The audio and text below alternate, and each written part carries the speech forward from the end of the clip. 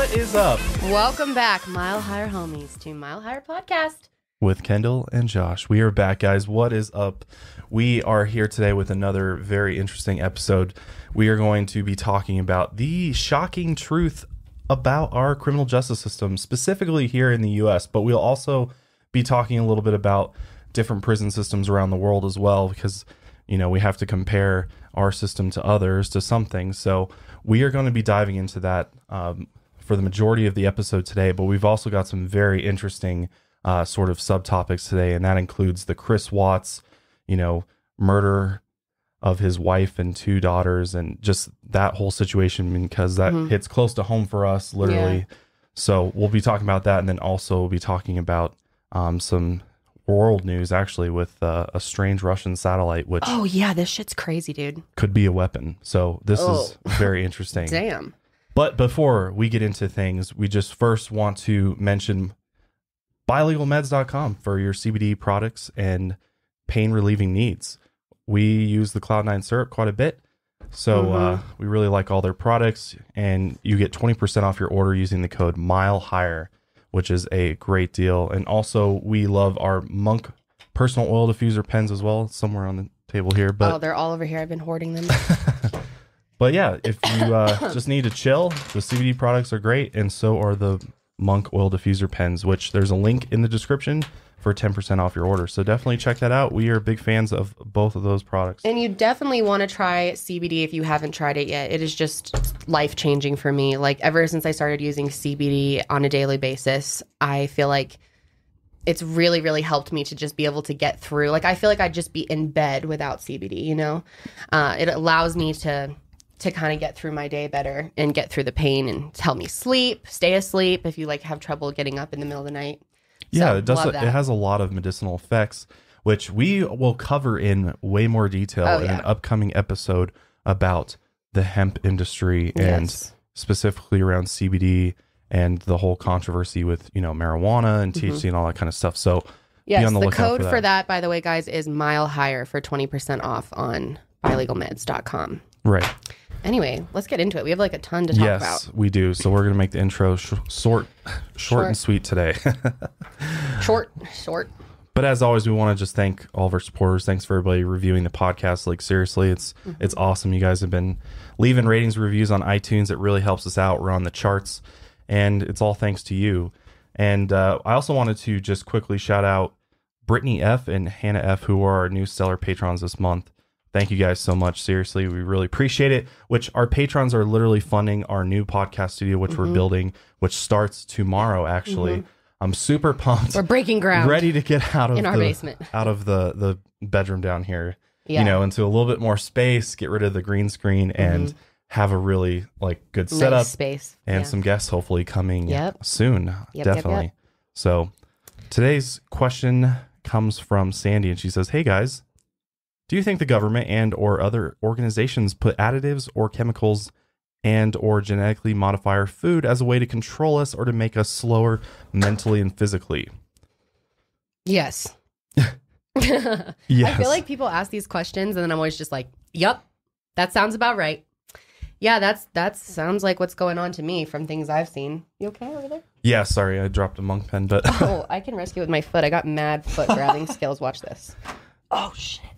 Never mind. all right, that's all right. We have like 80 others here, so we're good. No, I can stick it. But yeah, so my whole take on it is I think there is a lot more to, Look. you know, the genetic, genetically modified. nice, good job. I'm telling you, I can pick up anything with my feet because I'm Talent. lazy and I'd rather use my feet. Anything, huh? Okay, good to know. Mental note on that. But um, but yeah, so like we talked about this a little bit in our podcast episode about the DuPont family because they have a lot to do with chemicals and additives and GMOs Right. and things like that. Which, when you look at all of everything as a whole, and you know, you know what we know, there's a good chance that they are doing things to sort of influence our body, the way our mind works. I mean, a lot of this has scientific proof behind it as far as some of the additives that they use, as well as how they genetically modify things, which it's, you know, genetically modified is a very, you know, Loose term. loose term. Yeah, exactly. Because like they genetically modify things for, you know, to- reasons that are totally legit and you know they have to in order to make the crops grow better in a certain climate things like that or you know to be hardy but they also do some things that are a bit a bit more sketchy so to answer your question sandy yes i do think that they have um, they are involved in some additives i mean you look at fluoride in water things like that you Oh, know, yeah. which that should be another episode coming soon i think the water episode we talk Oh, about yeah. water We need to do a whole about just like fluoride water and everything episode. about how it affects your pineal gland and things like that Not so only that, but just like the garbage that Yeah, your health. I mean, water just- in general. yeah. The la- like we need to talk about Flint, how that happened, Yes, what happened exactly. absolutely so The water episode. Okay, yeah, for sure. We'll do that one soon. yeah let us know if you're excited for that but that is a great question sandy thank you so much all right first order of business is i want to talk about some news that came out this week that i think maybe graced the headlines briefly but then it was like lost in the trumpster fire that they report on every day Trumpster fire. so Dude, I saw it on CNN. That's where I saw it. They were like, they did yeah and it was Wolf, and he's like, breaking news. The U.S. is worried that Russian satellite is really a weapon. Yeah. So this is this is coming from this statement that was made is coming from a guy named Liam Poblete, who's a top U.S. diplomat on arms control issues, and he suggested that American intelligence agencies have reason to believe that a Russian satellite may be surveying U.S. space assets or practicing to attack them in the future. So that is a bit frightening. So there's a satellite, it's called the Cosmos 2519, which was launched into space by Russia last year. And basically, I mean, most of us don't know what's being launched into space, you know, like Yeah. they launch a lot of shit into space, including our own government. And if you didn't know this, there is actually a top secret classified space plane. It's called the X37B, I think Ooh. and it's works for the Air Force. Nobody knows what it does up there, but they launch it on missions. And it flies around and orbits the planet and does whatever it does. It orbits the whole planet. Yeah, it goes up into space. Yeah. Oh wow. Yeah, so we have little to no idea exactly what things are doing up there, but this it's really interesting that they're specifically worried about this Russian satellite. I've never even thought of this happening. That's like really scary. Yeah, it is very scary. So, you know, obviously when this, you know, when they talk about this, they're like, oh, it could be this, could be that. It could be something totally just normal and, you know, it may not be a weapon. It may not be something that's used to attack our satellites or something like that. And the Russians actually responded and they they said straight out that this is just slanderous and basically false that this was some type of weapon or that they're doing some sketchy business with it. But it's interesting that the actual, you know, like our intelligence Yeah. agencies are saying, we need to track this thing. We need to make sure we know what it's doing and try to figure out its mission. Well, how do we know we don't have that type of thing over another country? Oh, yeah. Well, that's the You thing. know? Well, that's why I brought up the X37B because it's like Yeah. we probably are doing exactly what they're probably doing to Yeah. us. It's like, And what if they're not even doing it? What if we're just saying that to continue like a narrative? I mean, I don't know, obviously, but Well, I think this all plays into this whole thing that space is now becoming a possible yeah. place for war. Yeah, you people know. aren't noticing the big change in discussion around this type of stuff. Like, yeah, it's really happening. They're It- talking about it everywhere. Yeah, exactly. And I mean, hearing, you know, Trump wanting to create the space force and, you know, we need to be the dominant force in space. And this is becoming a huge issue because China and Russia are are going to beat us in that space race if, you know, we don't really start taking it seriously. Like and I I don't know. I mean, I don't want to be, you know, living in a country where, you know, we are defenseless, you know, if we're being attacked from outer space or something. Yeah. Like you know, I'm all for getting a space, you know, military force going, things like that. But, you know, I want transparency and Mm-hmm. disclosure about things. But obviously, we probably won't get that. But it is something that is sort of looming over all of our heads. Yeah. and literally something we have to, like, quite literally. Seriously, though. That's freaky. So- I, just like another thing for me to worry about. Great. Yeah, just add that to your list of things to keep you up at night and Mhm. think about I have quite will we be attacked from outer space by Russia or China? Oh but- man, you can't sweat the small stuff. All you gotta do is hit your Zen pen Yeah. and chill out. when you feel in a little anxiety ridden, just puff that monk pen, or they've got CBD vape pens now on uh, buylegal meds. So, all right, here's something else that will make Sorry, you. guys. I have a little cold, so I know. I keep. I need to get the cough button. We'll get the cough button for. I just found out thing. there's a cough button. I know. I I I could have used that many times. I haven't been able to have the the complete setup that I wanted. Cause, yeah, because that's just like so. I know, I'm so like, sorry, but what am I supposed to my do?" ear? because I can't talk. There's something in my throat. Choke to. it down. Suppress your cough. Don't cough. All right. Well, I a- don't. What I don't understand is even if I have a cough button, you're still going to hear it through your mic, Well, right? I think it's worse in this room because there's kind of a little bit of an echo in here because it's Oh. like. Kind Well, of, one time I went over there in the corner and coughed, and you could hear it crystal clear, and I was like six feet away from the mics. So Well, then we're just fucked. So, yeah, seems we're just fucked. but we also might be fucked because Chinese bombers are training oh, for Oh, great. possible U.S. strikes. Yeah, I and saw this this, is according too. to a new Pentagon report that is also detailing how Beijing is transforming its ground forces to fight and win. Which China is a very large com- country. It is full of people, and there Yeah. there's like 1.4 billion people, dude. There's 1.4 billion. We have like three to 350 million.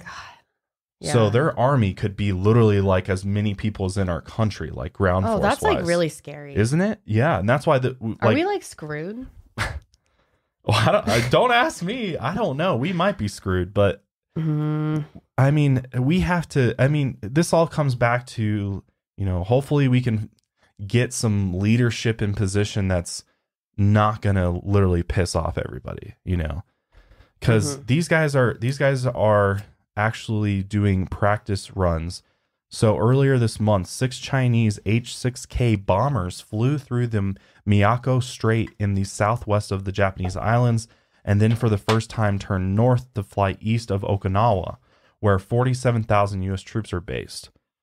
The People's Liberation Army, so China's army, has demonstrated the capability to strike U.S. and allied forces and military bases in the western Pacific Ocean, including Guam, the report says.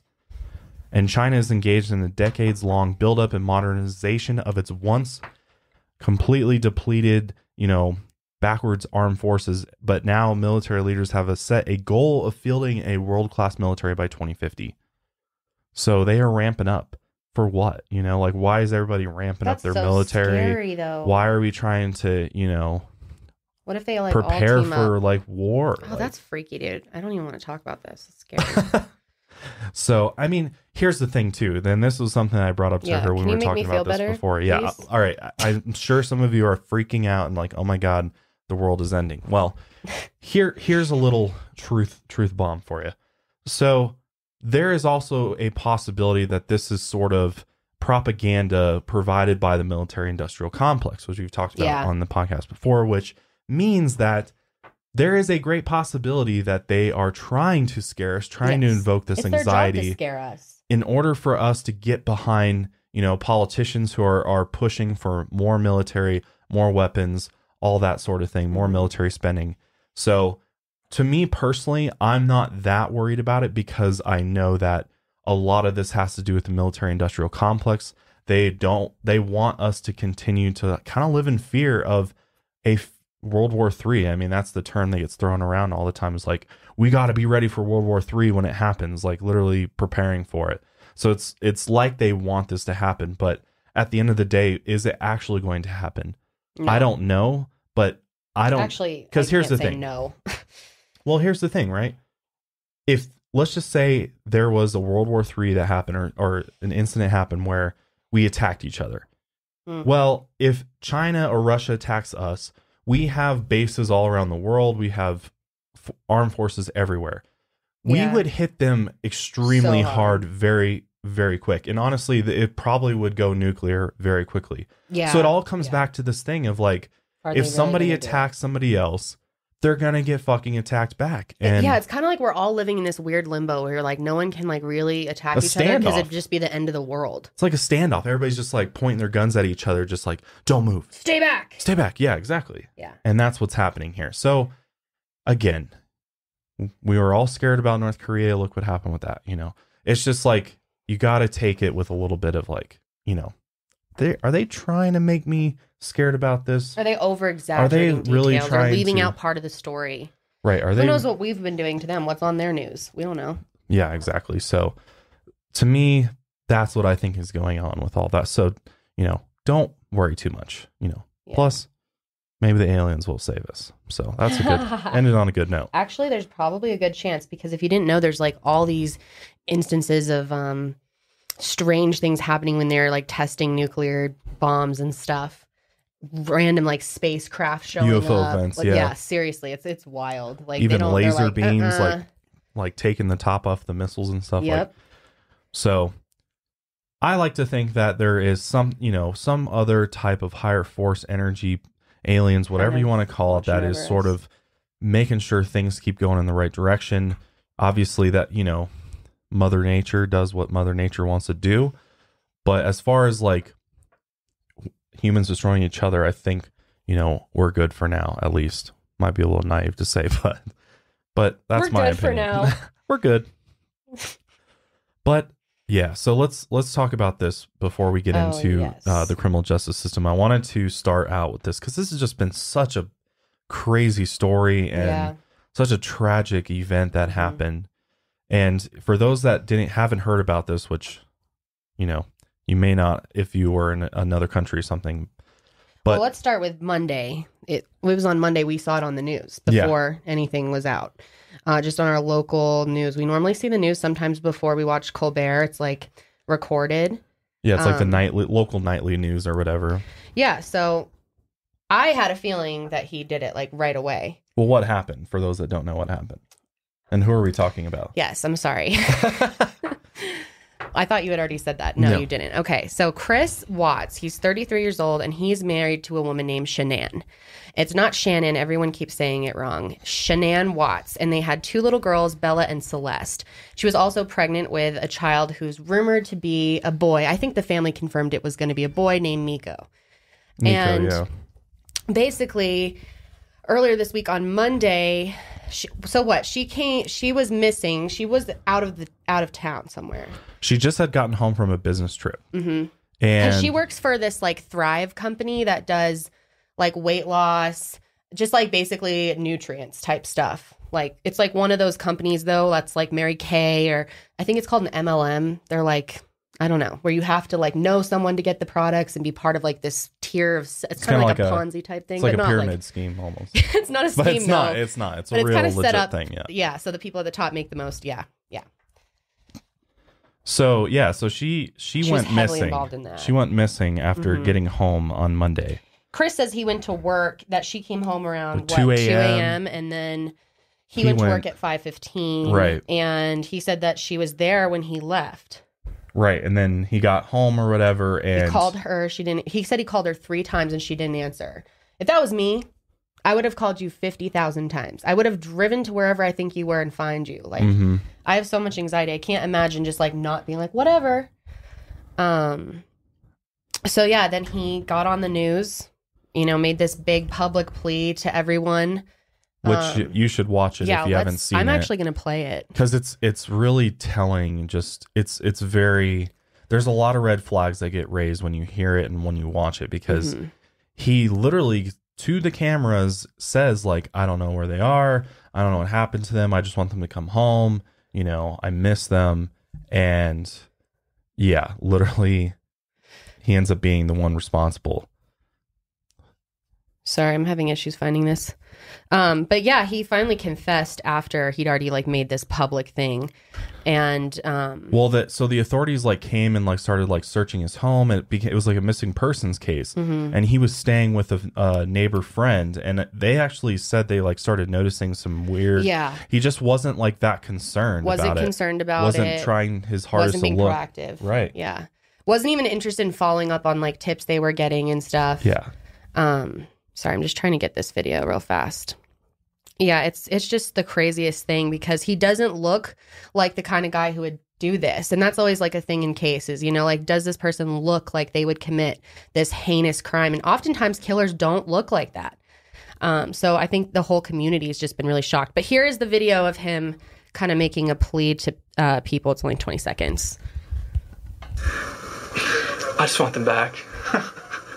I just I just want them to come back, and if if they're not safe right now, that's what's that's what's tearing me apart. Because if they are safe, they're coming back. But if they're not, this this this has got to stop. Like somebody has to come forward. That what is the, the, weirdest fuck shit. was that? I think he probably saw his own video back and was like, "Oh God, I did a terrible job. I need to confess." He did not sell that at all. Like he's he's literally like arms crossed, rocking back and forth. Yeah. And then he laughs at the beginning, Yeah, that is so weird. which is so creepy and weird. And and now that you know, now that you know that he literally murdered his wife and his 3 Mm-hmm. kids essentially, Mhm. and he's saying that like I just want them to come home. Like it's like we've got a po- probably a psychopath on our hands. Oh here. yeah, I think Or so. a sociopath or or whatever. Yeah. And um so yeah, basically he told them I buried them and he used to work at a oil and gas company Yeah, company in Anadarko. Colorado. Yeah. So they're like up north of Denver. Like they're kind of near Greeley they're area. like yeah, they're like at least an hour away from us, north of us. And yeah, um, as far as but we yeah, we used to live up in that direction, so we're familiar with Mm-hmm. you know the oil gas business is really big up there. And he worked at an oil um, on a like an oil drilling site for uh, this oil company. And after he confessed, he was like, "Yeah, I I murdered them and then I buried them." Mm-hmm. Um, or told the investigators where he had hid the bodies, and Yeah. unfortunately that's where they then went and they un- you know recovered uh, his wife Shanann's body in a shallow grave on the actual company land which he got fired obviously like yeah, he got fired Wednesday. Um, day yeah which i wonder what happened with that exactly how that went down Oh, I'm sure they just got contacted by police like, "Hey, we have reason to believe there's three bodies on your yeah Property right yeah now. that's you're right And it took a while to recover uh, the girls, which is so sad because he left them in an oil tank. And from updates that I've seen, we're kind of waiting for information right now. There's supposed to be a lot coming out today. Unfortunately, we can't wait that long, but um, we believe they believe that the girls were put in an oil tank and left there for possibly even four days. Before So- she got home from her business yeah, trip that's he- what they think. He killed the kids when she was gone. She got home, freaked out. He killed her. god Yeah, that's just so I know. it's just so hard to wrap your head around like as It a is. parent like i mean i'm not a parent so i can't even But you're possibly a parent to a dog, even, and like we would never do that to our dogs. This is their child. yeah yeah You know. yeah the daughters were uh, bella who was four and celeste was three years old and they were strangled and uh yeah put in the oil tank for four days So sad, man. So they Just are actually trying to, um, the defense are requesting that the girls' necks be swabbed for DNA evidence. And uh, they're trying to take samples from the nails as well and Shanann's nails, but a judge denied these requests. So they're, I don't know what the what their play is going to be I think here. they think that he strangled them um, because she also had um, like he had scratch marks on his neck. You can see in the interview. You can see them. There's like all these red marks on his neck. It looks like she fought back against him. So no, it's just terrible. It Man. is. It's, just so absolutely terrible. sickening. It's terrible, you know. And I think I think if you want to talk about motive with this, Yeah. there's you know we don't know for sure what investigators are Mm-mm. thinking but they were um in bankruptcy Yep. They were out of money hmm you know and it sounds like there may have been infidelity or something Yeah, So it's hard to confirm any of that right now, but there's, like I said, in the next week, I'm sure there'll be so much more. But this is definitely, I think, a case to follow. Um, yes yeah. So if you're wondering, though, it's it, one thing that was interesting about this case is he's not being charged for his unborn child, which is unique to Colorado. There's like a special law that doesn't allow you to charge them, and why they would want to charge him is because they're probably seeking the death penalty, is my guess, and three counts will work will help them more than, or four counts would you know convince a jury Yeah. more than three would.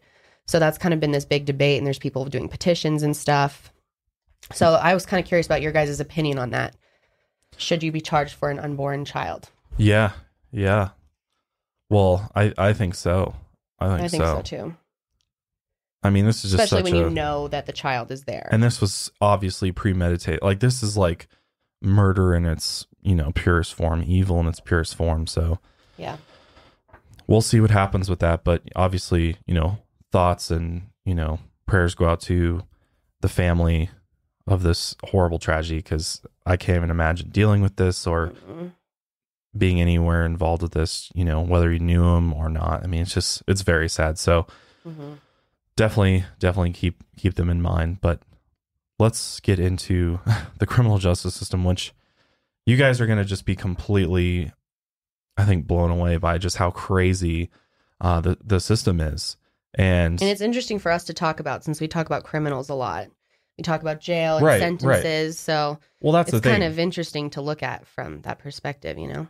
No, absolutely. I mean, that's why we wanted to do this episode is because we do talk about a lot of true crime and we've covered some cases where we're like, you know, could go either way, but you know, did he deserve to get locked up for that? You know, and like we're going to talk go into more in depth on that today because I think it's important to actually look at the way that it's working, you know, is justice actually being served? Like are people getting the justice they deserve?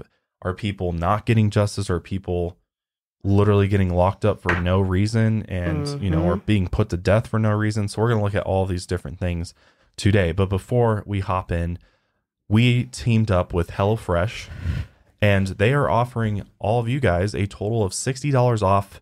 That's $20 off your first three boxes when you go to hellofresh.com slash milehigher60 and use the offer code milehigher60 so if you don't know what HelloFresh is HelloFresh wants to change the way people eat forever. HelloFresh believes everyone deserves honest, natural, delicious, and healthy food. HelloFresh celebrates fresh ingredients and making magic in the kitchen. They know there's a chef in all of us, and they think it's uh, food brings people together, and good food allows us to live long, and great food lets us enjoy every bite of life. HelloFresh is learning and growing every day, and never gives up and strives to make people happy. And we we uh, we actually use HelloFresh long before um, they came along to sponsor us. Yeah. And we're we- customers. We are customers, so I always like I always like sponsorships where we're actually like fans of the products and we Yeah. use them beforehand Mhm. before we promote them. Mhm. But HelloFresh is great because everything comes pre-measured and labeled meal kits, so you always know which ingredients go with which recipe. It's got nice, big instructions, very easy to follow. Yeah. They've like got card stock too, Yeah. so they're not gonna get wet and like crinkly. yeah, it's not like a piece of paper or something Yeah. crappy. You And could save them and have them as a recipe, which is Yeah. nice. Yeah, exactly. That's what they want you to do, really. And they actually have three different plans you can choose from. They've got the classic plan, which comes in two or four servings. There's a veggie plan, so if you're vegetarian, um, you can go with that plan. And then there's a family plan for those that have four plus people. They they have a plan for everybody. And they actually sent us meals, which mm-hmm. yesterday we made these salsa verde enchiladas, which were bomb AF. They were black bean enchiladas. They were so good. Black beans are like my favorite ever. they were very delicious as you mm. as you can see there and if you can't see they were very good Yeah, very good they were. so they HelloFresh wants to make it so easy to cook delicious balanced filling dinners for less than $10 a meal plus they ship it for free right to your door and you can skip a week if you want to skip a week it's very convenient. And you can always feel confident with the simple recipes outlined in the step-by-step instruction card. So go to hellofresh.com slash milehigher60 and use the code milehigher60 to get a total of $60 off $20 off your first three boxes. So definitely check that out. All right let's fucking get into it all right? So the criminal justice system today is literally like a bicycle stuck in one gear the prison gear and mm-hmm. something we're going to talk about today is the prison industrial complex essentially there is a prison complex that exists today which has literally created this prison culture in a way because the united states is the world's leader in, in incarceration which is not that surprising Mm-mm. but today, close to 2.3 million Americans are incarcerated. According to the Nonpartisan Prison Policy Initiative, more than 1.3 million Americans are imprisoned in state correctional facilities, 615,000 are in local jails, 225,000 are in federal prisons or jails, and this figure also includes 48,000 kids who are currently in juvenile detention facilities. And this also means there's probably a lot of our viewers out there who have been to jail, have someone they love in jail, or know someone Know who somebody, went yeah. to jail, has experienced writing letters with people. Um, so this is probably like pretty emotional for people. Yeah, or just like to. I think all of us have probably at least had a taste of the criminal justice system. I mean, Yeah. just just getting pulled over by a police officer. I've been pulled over so many times. I don't know if I've ever told this on here, have I? no, you should tell everybody. Just real fast. Yeah. So basically, when I was in high school, I drove a car that like I had like seniors written on the back, and I had you always like, think that this is why. I think I it's why. Think it's, I don't know. I was targeted so much. Anyway, I was not good at like doing the full stop where all four wheels like jerk back. Which and- who is? Yeah, like seriously, I slowed down. I completely stopped, look both ways, like no, you know.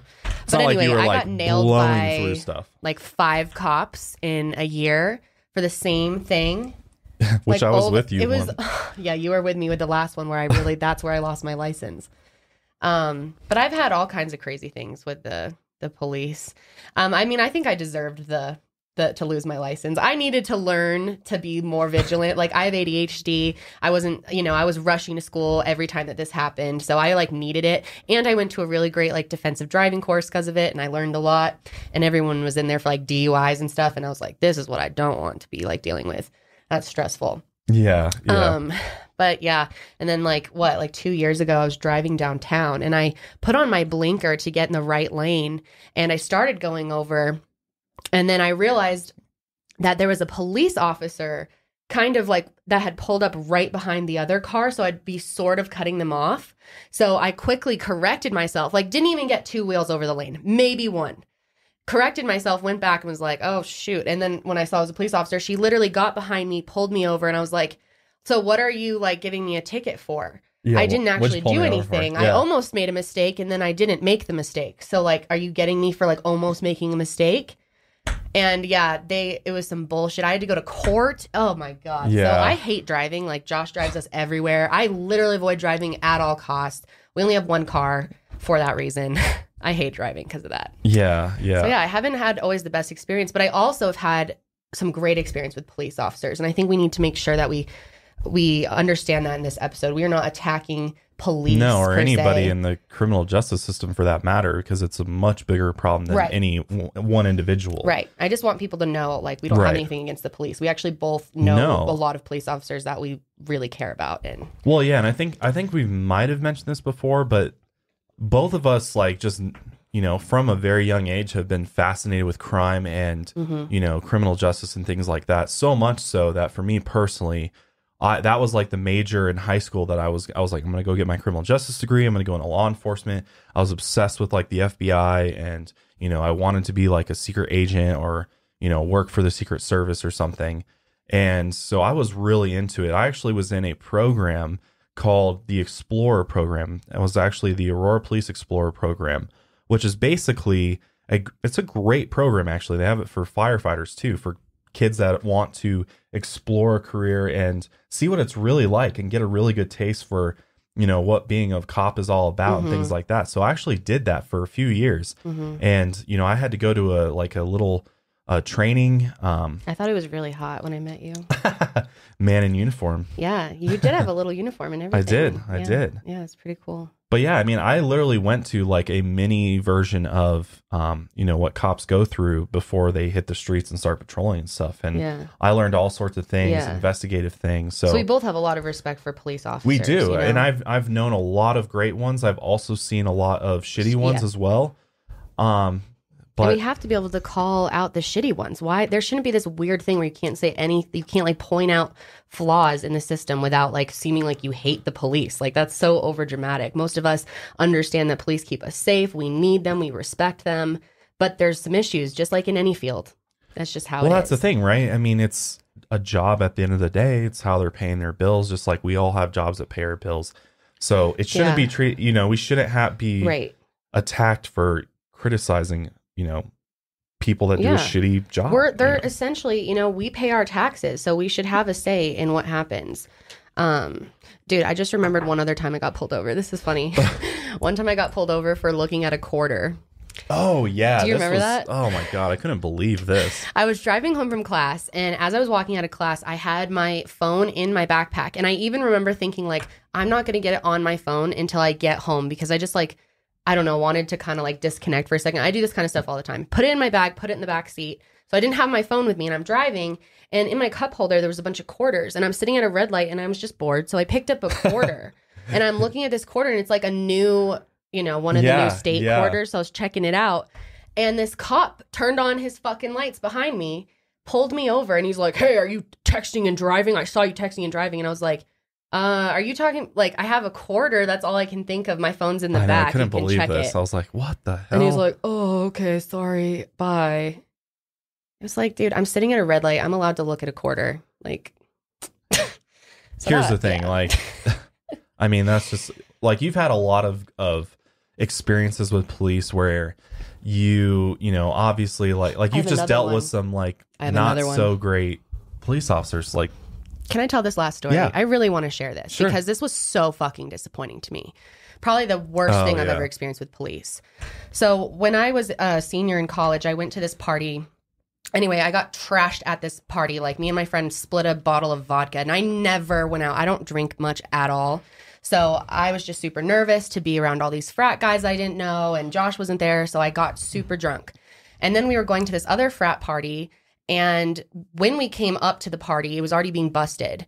Uh, or people were like running out of it. I don't even know. Police weren't there yet, but people were running, clearing the party. Mm-hmm. And there was this girl that was unconscious on the sidewalk of this fraternity house. man And me and all my friends pull up, and I'm like, okay, I'm the only one who's 21 here. Everyone else, like, get out of here, go. And um, I helped this girl. So I was literally alone with this girl, drunk as hell, let me tell you. And Yeah. she, her eyes were rolling back in her head. She was having like a full on, she could barely talk. And so I had this girl in my arms, and the president of the fraternity is just standing on the porch, by oh the way. yeah this was just so watching me so disappointing just fucking watching me. So anyway, I called 911.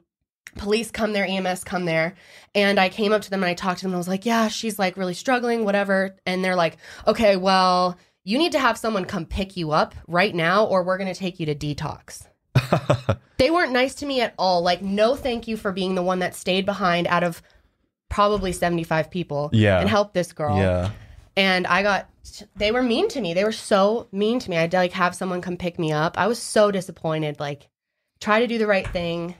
I mean you were very very lit for sure I was but lit. I was sobbing after all but this. yeah i mean you were super emotional you literally thought this girl had died I thought she did die in my arms. I really you thought did she no died in my arms. you- Swear to God. I, i've never seen you so hysterically like just beside yourself like literally like i i believed i was like Yeah. did this girl like really die because you seemed like yeah. so upset you were so worried like you're you just kept saying like you know is she okay is she okay like Yeah. you it bothered you so much and i was like damn this girl must have been in really tough shape Dude, you have no idea. Her eyes were completely rolled back in her head. She was a freshman. It was like first couple weeks of school. Fucking I felt so sorry bad. i i fraternities are just they well, it's like why are none to- of you here to help? Like terrible. there's all Yes, these there's supposed to be gentlemen in the fraternities. Yeah, That's what seriously. we're taught. Like in sororities, I was taught to about values and personal growth and like I would never take leave care of someone like there. your brothers and sisters Yes, I didn't even know this girl. I never even met her. I've never talked to her actually. She doesn't even probably doesn't even know this happened and that she was in my arms at one point. But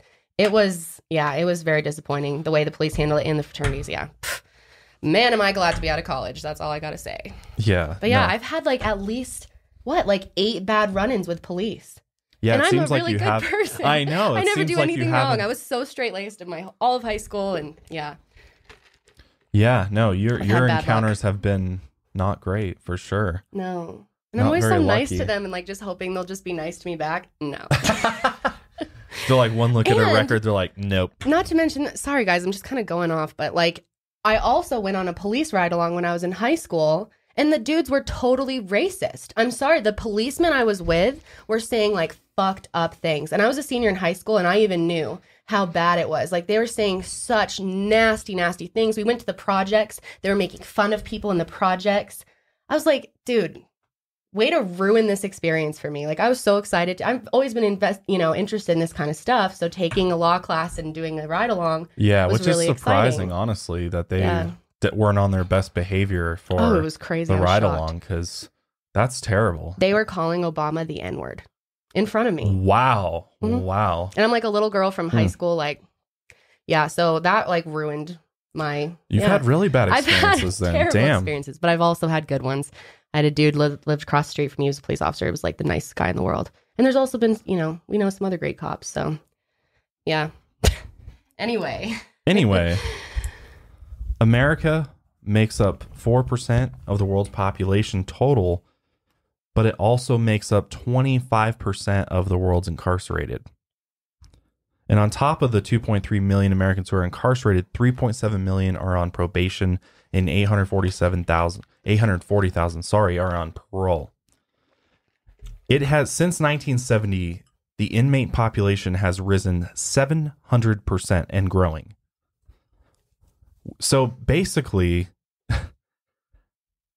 since the 70s like thousands like thousands and thousands and thousands of piece, people have been locked up in America's prison system. hmm Which there's a lot of you know there's a lot of different things that can influence this. There's changes in law and policy that could explain most of the increase. There's uh, and the results of this are overcrowding in prisons, fiscal burdens on states, despite increasing evidence that large scale incarceration is not an effective means of achieving public safety. The prison system in the U.S. costs 75 billion a year. Wow. Wow. That's crazy. It's a 75 billion dollar industry. Maybe people wouldn't want people to be locked up as much if they knew how much they're paying for their, you know, tax dollars. Yeah. Well, we'll get into that some more here. Not only that, but there's actually two, uh, roughly two million prisoners currently behind bars who have never even had a trial yet. That's sick. That's that's like so, So- unconstitutional and wrong. It is. I mean, literally, the Sixth Amendment states in all criminal prosecutions, the accused shall enjoy the right to a speedy and public trial by an impartial jury of the state and district wherein the crime shall have been committed, which district shall have been previously ascertained by law and to be informed of the nature and cause of the accusation. To be confronted with the witnesses against him, to have a compulsory process for obtaining witnesses in his favor, and to have the assistance of counsel for his defense. That sounds pretty good, but when you look at the reality of things, this is not what happens in mo I'm going to say most because it really feels like most. It really feels like it's it's the the criminal justice system meaning the prosecution, the state and all of its resources and the prison system behind them against little old you. You Mhm. know, Yeah. even if you have a good defense team, as we've seen with the staircase and Michael Peterson, and you look Mhm. at Mhm. you look at OJ, you look at all these different cases where actually OJ was Yeah. a rare example of a success uh, when it comes to a you know a defense being able to actually defend you from the state, but When you clearly did it. right, but it just goes to show that something is seriously wrong here. If literally our you know a Sixth Amendment is not even happening most of the time. Yeah. So do you think that like maybe that these 2 million people the reason that they haven't had a trial is because they don't think they could win a trial? Like they think there's not enough evidence that they did whatever they're in there for and they think Could that be. a jury would like let them go? Could be. Here, let me let me read this because this plays into that and this is interesting. So this is from an award-winning journalist named Chris Hedges and he said the reality is that almost no one who is in prison in America has gotten a trial. There is rarely an impartial investigation. A staggering 97% of all federal cases and 95% of all state felony cases are resolved through plea bargaining. Of those millions who are bargained away their right to a trial by accepting plea deals, significant percentages of them are innocent. Right? Because that that happens a lot. I think it happens more than people even like to believe. Like it is hard to get a trial. Yeah. It takes a long time to go to trial, so a lot of people go the the plea bargain route. And the plea bargaining route doesn't always does usually doesn't end up well for you because you literally have to plea plead guilty Mhm. to the crime for a lesser sentence or lesser punishment, but you end up in the prison system. And you might even be innocent. Like we've seen that so many times too, where people are literally locked in prison for years because that the state was like, we have enough evidence to take this trial, we, and we think we can, you know, basically convict you. And you may not even have did the crime, but you're like, what do I do? Should I should I take that chance, go to trial, go in front Possibly of a jury, a worse. and yeah, yeah. possibly get a worse sentence, worse punishment, or do I take the plea? But you st- either way, you still end up in the fucking system. Mhm. and special and if you're innocent, the system will completely destroy you physically, mentally, spiritually, in every way. I mean, Kendall and I have been, you know, we've watched a lot of true crime documentaries, a, a lot of true crime shows. Some of our, you know, top ones and ones that have been most eye opening for me by Yeah. far has been 60 Days In on A and E, hmm where ordinary people who've never been in prison or jail get locked up in jail for 60 days. It's basically like they sign up to be undercover in a prison and kind of let them know who's bringing in drugs, who's, you know, What the problems where, yeah, are, what where are they the problems? Are they having issues with the the, staff. wardens? Yeah. Um, wardens? Is that even a? There's one warden? warden. Okay. I don't know why that sounds like country western like- to me, the warden. It is kind of, kind of stems from that, I think. um, but yeah. But like the correctional officers, things like that. But they're just normal people that do it. It's it's wild what they go through too. Like it's very eye opening to how prison is. Um, It's because we also watch scary. Orange is the New Black, and we love that show. But it's like very unrealistic for how most prisons are. Mhm. Like that's probably a pretty good prison. Oh yeah, you and I mean there are. That's the thing too is there Compared. are better prisons than others for sure. Like there's better situations, Yes. but like most county jails are a complete shit show. Literally a shit show. yeah, and just like degrading. It's horrible. It's it's equating to animals animals in cages, you know, like we, Mm-hmm. you know, all of us want animals to be able to roam free and stuff. Obviously these are criminals, but it's like when does it become inhumane? Is solitary confinement a form of torture? Like is that is that a something that should even be used today still? Well, I think knowing it what it does. I think some people need to be in solitary confinement. But there's way too many people that are in Right, well, like it, and it And shouldn't be for non-violent stuff. And for years, people Yeah. were in solitary confinement for years. yeah, that's crazy. Years. Even but I mean, you're- some of them though have like killed inmates, fellow inmates, or like attacked. Right. So it's like, what other You choice do they put them- have? Yeah. What other choice do you have? Yeah. So like some of them need this. We're talking about the majority Right. that doesn't deserve. You know, the non-violent criminals too. Right. Yeah. Well, that's the whole thing, right? Like Chris Watts, like he Yeah. deserves justice. He deserves a harsh sentence and punishment Yes. because And I'd be fine with him sitting in you solitary know confinement. we're gonna find him guilty of of this horrific crime that he committed. right. But like you just said, non-violent offenders get treated the same as violent offenders Yeah. most of the time, Yeah. and they get they live Especially together. it's not like they drug separate offenses. the violent people all the time No. from the non-violent. Like you could be a drug dealer and you know Yeah. you're with somebody that's literally like murdered a bunch of Yeah. people or assaulted a bunch of people. Mhm. So that's the problem with the system here, and that's what we're going to talk about. So if- if you look at the incarceration rates internationally, the United States just leads it by a long shot. Really far. 670 uh, per 100,000 when it comes to people being incarcerated. Second is actually North Korea, which that number is very high too, because we don't actually know for sure. But when we go look at, you know, where a lot of you guys are from across the world, look at like Australia, they're 167 versus 670. Way, way less. Canada, even less, 114. Go all the way down to, you know, Sweden at 57. Yeah. That's crazy. So very, very low. So we are like 700% more likely to lock somebody up than people in, you know, India's the lowest. Europe. That's interesting. I thought they Mhm. would have been higher, but maybe not. So why did this happen? Why did we have this huge increase from the 70s to now of people being incarcerated? And there's a lot of different theories to this. One is a series of law enforcement and sentencing policy changes of the tough on crime era resulted in a dramatic growth in Mm. incarceration, which is true and yes. was brought up. I think Nixon was probably one of them.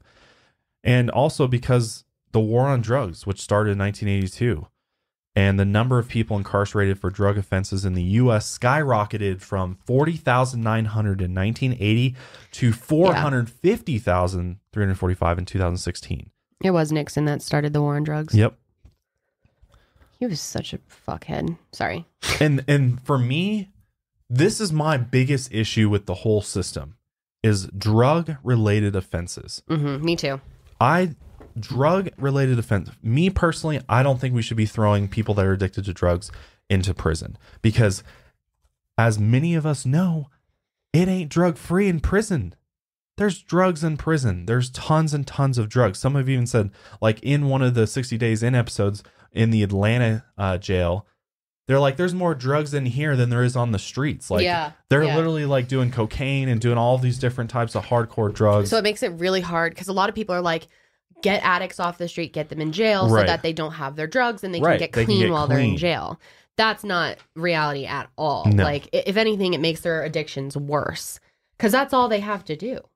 and you know when you're trying to get off of especially opioids or Mm-hmm. you know heroin or something really strong like that And we've we've both like have had uh, like a very close up experience with someone going through this. Yes. With people going through this, so like we're very familiar with what it's like to have addiction. how hard it is Yes. it is a real disease Mhm. it has to be treated as such right. and you don't get the treatment that you need in prison you No. just don't It's not rehabilitating people at all. no absolutely not there's actually more people behind bars for drug offenses than the number of people who were in prison or jail for any crime in 1980 That's so insanity. a mass majority of the people in this overall number of incarcerated is drug related offenses. So, is there a possibility for major reform when it comes to dealing with drug related offenses? Obviously, a huge one is marijuana, which we'll talk more about the specific numbers yeah, in that situation later. Is like people are getting locked up for years for life for a plant, for a It's fucking plant ridiculous. that doesn't kill anybody. Just And it doesn't. And don't try to come and say, "Oh, it does," because it doesn't. It doesn't. At, as, there's no at least from like overdose, no, it doesn't. there's no proof that You can't Of- smoke yourself to death. no, you can't even overdose on it No, without extreme amounts. Yeah, you can overdose on some plants though, kind of. it's Can't crazy. Essential oils. So not only did we, you know, start locking people up for drug offenses, but we also started sending people to prison for much longer terms. And this all happened during that 1980 time period till now. Harsh sentencing laws like mandatory minimums combined with cutbacks in parole release keep people in prison for longer periods of time than ever before. The National Research Council reported that half of the 222% growth in the state prison population between 1980 and 2010 was due to an increase of time served in prison for all offenses. And there has also been a historic rise in the use of life sentences. One in nine people in prison is now serving a life sentence, nearly a third of whom are sentenced to life without parole. You know what Josh and I were talking about too is like obviously some people deserve to be locked up for their whole life and need to be. But how it's just thrown out so easily to people who maybe don't deserve that. It's so alarming how easily we take away everything someone has. All you have when you're born into this world is your life and your freedom. That's it. To take that away from someone for their entire life and not even give them the ability to work towards becoming Right. better Right. is really, really sad to me. Literally Uh, locking you up and throwing the key away Mm-hmm. and then taking you out when you die, like once you're dead. Mhm. And there's plenty of people who have, who are not killers that are in this situation, you know? And there's innocent people that are literally on death row Yeah. that have been convicted for crimes they did not con- convict.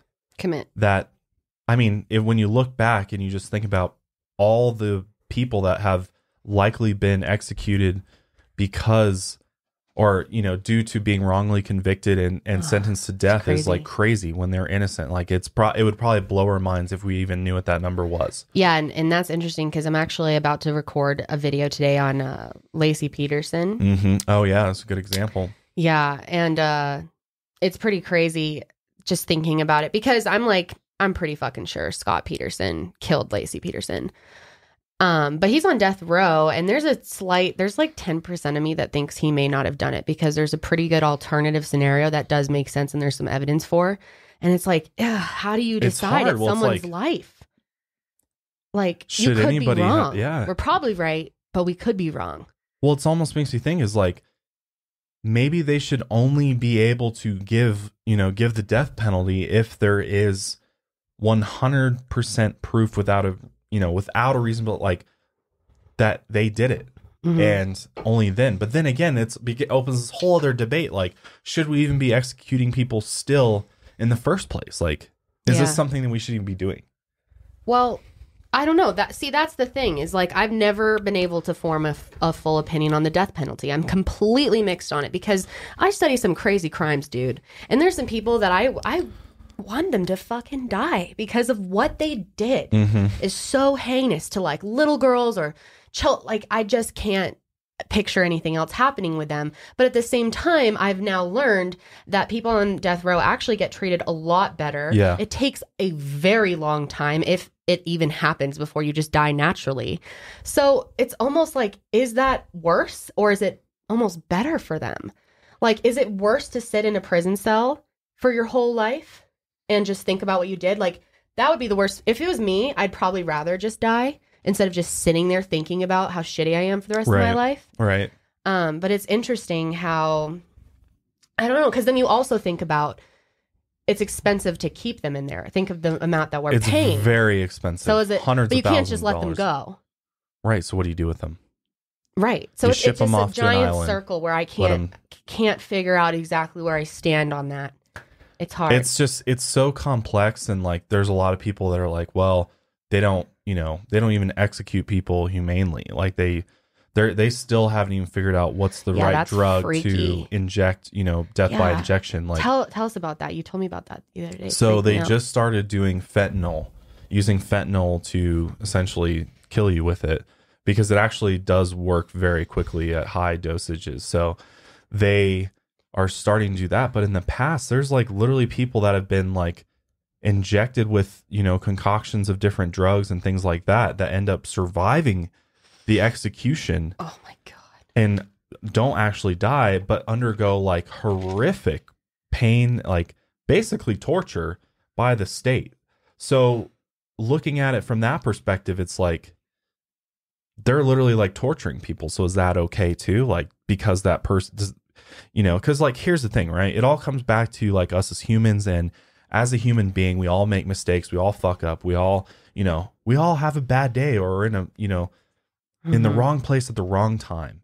And you know, ima- you know, if you're somebody that's a, you know, innocent and on death row, I wouldn't want that want that to happen to me. Plus, do you believe in redemption? Do you think people no matter how messed up you are, what crimes you commit, do you think everybody has that ability to come back? Like and I think I rehabilitate if it was if the system re actually had a rehabilitation process would Right. you be open to taking the death penalty off the table in order to enter them into like a serious rehabilitation program I think if you're sentenced to death row, you should be able to work towards uh, being taken off dead death row and back into life in prison to prove that you could be a helpful person in the prison or that you've changed. Of course, I believe in redemption and forgiveness. I believe. I mean, there's many victims out there who've even you know forgiven the craziest killers because it's be- it's better to forgive right but not forget. And I don't think that they should be let out. You know, like if you take someone's life, especially if you tortured someone or did something like that, I think you deserve to be in life in prison. Absolutely. sure sure If not the death penalty. Like Sure. that's where I'm just like, I've seen some shit where I think people should be given the death penalty. So it's so hard for me to fully decide. Like Fred and Rose West. Did they did they ever get the death penalty or anything? I think they both just died in jail. Mhm. But yeah, like them. Sickos.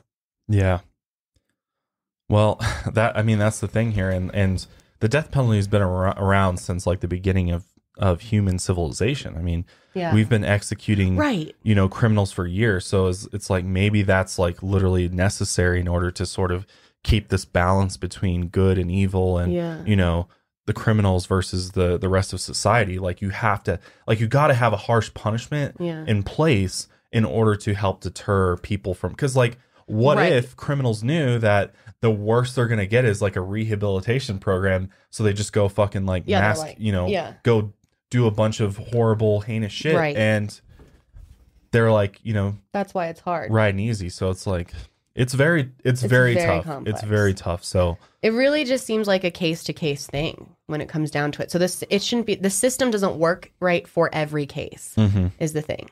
No, it doesn't. It doesn't at all. And it especially doesn't work very well for people of different ethnici- ethnicities and Yes. different racial backgrounds. It does not touch all communities equally Sentencing policies, implicit racial bias, and socioeconomic inequity contribute to racial disparities at every level of the criminal justice system. Today, people of color make up 37% of the US population, but 67% of the prison population, 67% is not white. That's insanity. It is it is very lopsided. Yeah, it is. Overall, African Americans are more likely than white Americans to be arrested. Mm-hmm. Once arrested, they are more likely to be convicted, and once convicted, they are more likely to face stiff sentences. This is fact, guys. This is Yeah. not this is not It's not an just like opinions of, you know, It's modern day slavery in a lot of ways. And I mean, literally. I mean, black men are six times as likely to be incarcerated as white men, and Hispanic men are more than twice as likely to be incarcerated as non-Hispanic white men. That is very alarming. yes. And it, I mean, this this whole problem is far deeper rooted than just the criminal justice system being fucked up. I mean, this goes back to racism in America. It goes way way back, and this is a major culture problem that we've got on our hands. But the criminal justice system definitely does not work in the favor of all all No. people by any means. Not even close. So, what does mass incarceration and public safety have to do together? So, crime rates have declined substantially since the early 1990s, but studies suggest that rising imprisonment has not played a major role in this trend. The National Research Council concluded that while prison growth was a factor in reducing crime, the magnitude of the crime reduction remains highly uncertain, and the evidence suggests it was unlikely to have been large. Several factors explain why this impact was relatively modest. First, incarceration is particularly ineffective at reducing certain kinds of crimes, in particular, youth crimes, many of which are committed in groups, and drug crimes. When people get locked up for these types of offenses, they're easily replaced on the streets by others seeking an income or struggling with addiction. Second, people tend to age out of crime. Research shows that crime starts to peak in the mid to late teenage years and begins to decline when individuals are in their mid 20s. After that, the crime drops sharply as adults reach their 30s and 40s, which is interesting that it's like this window of like your teenage years to around like the 30s that you're most susceptible um, you see most of the crime. The National Research Council also, or the, their recent study concludes that because recidivism, which is reoffending, rates decline with age, lengthy prison sentences, unless specifically target very high rate or extreme dangerous offenders, are an inefficient approach to preventing crime. The recidivism rate for American prisoners is 77% within five years of being released, according to the Bureau of Justice Statistics. Roughly 39% of these rearrests were for drug offenses, 38% were for property offenses, and 29 for were for violent offenses. So basically, this is just saying that is incarceration even a good like does it actually deter crime does it actually keep people from recommitting crimes No. no clearly it doesn't i mean especially i mean especially for the drug related stuff yeah, yeah.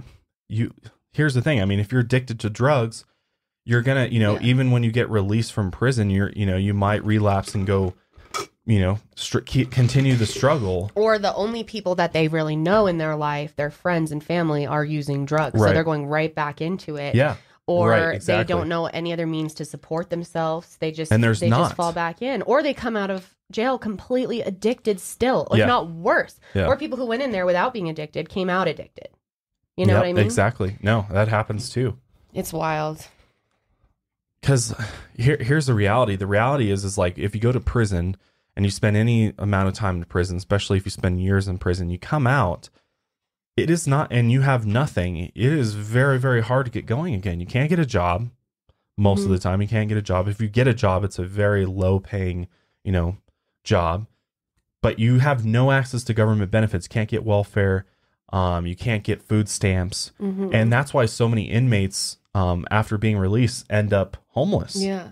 There's a homeless Or problem. they just want to go back in. or they just want to go It's back in and it actually makes them want to commit more crimes or they Right. feel like they have to in To go order to in. survive Yeah. there's right. no help No. for that transition No. or preparation as we see in this show's like It's chaos. It's absolute yeah, chaos. is. Yeah, to the point where like the whole jail is flooding with water. There's inmates everywhere. There's girls. Nobody's watching anybody. Oh, there's Oh, yeah. it's literally just a free for all. Yeah. People are pissed off. They don't they get to see the light of day like 2 hours, 3 hours a day. If They got that, nothing to do. That's like lucky if you see it two Yeah. to three hours a day. I feel like most of them it's like maybe an hour, if that. That's like people that are uh like solitary confinement stuff.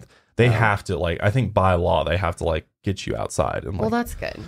but but it's still it's not that good i mean the Yeah. main thing is like they got nothing to do so all they got to do is think about what they did Yeah. start shit with other inmates Yep. or like you know Do drugs. exactly so what is it doing Nothing. it's not re- It's just rehabilitating a band aid. It's like taking a person that's bothering us and putting it in a little drawer. a box and shutting like it. right Yeah. stay in this box Yep. can't come out hmm and what's crazy to me is like so many people that are in prison have no idea like about their case or what's going on or when they're going to be released or any and they can't get any answers. no either. information COs don't help With something as serious as incarcerating someone, taking away everything they have, you would think the system would work a little better as far as answering their fucking questions and like treating them with respect and uh, giving them their constitutional rights. yeah You would think.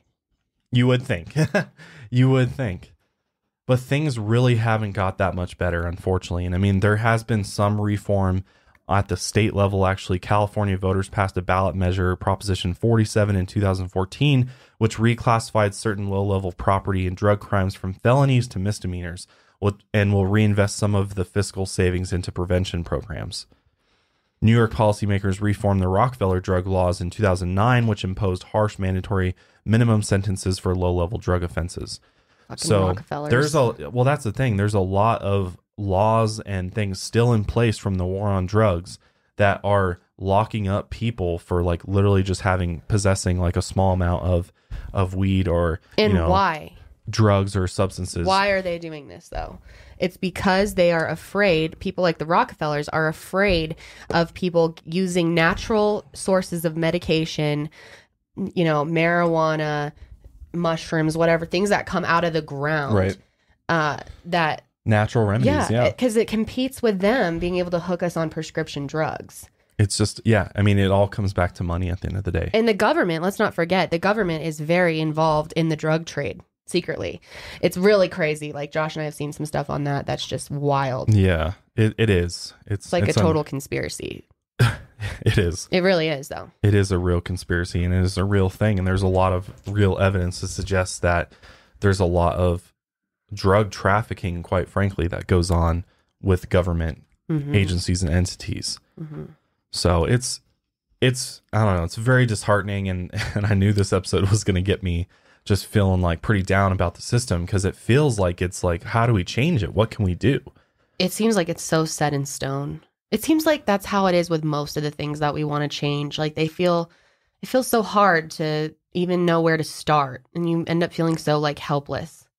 You know, It it's is, gonna take complete what do you do? reform. It's going to take a like a takeover, like a revolution to Literal. change things. a Yeah, complete revamp of the system from Mhm. ground, you know, ground zero. Just literally redo the whole thing because not only do you have the you know racism issues and people of color being locked up unfairly and being literally uh, targeted by police.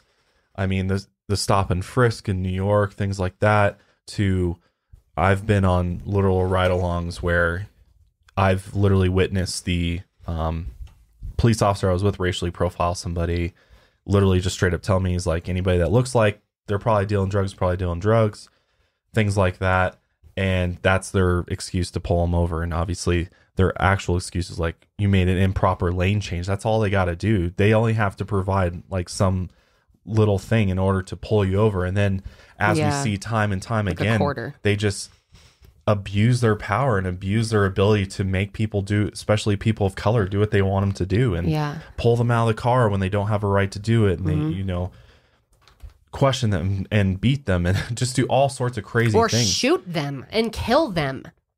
exactly God. I mean, how many times For is no that going to fucking happen Unarmed. before people admit yeah. there's a problem? unarmed. Good God.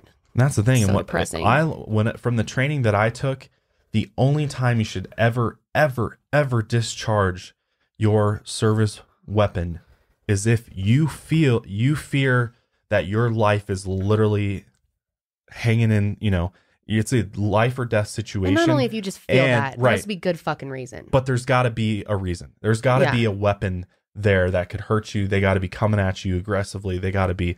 Well, here's the thing. It's still very loose about what that means, and so people, cops, do this on you know every month. Or it seems like we hear about a story like this where a cop yeah. ends up shooting somebody, yeah.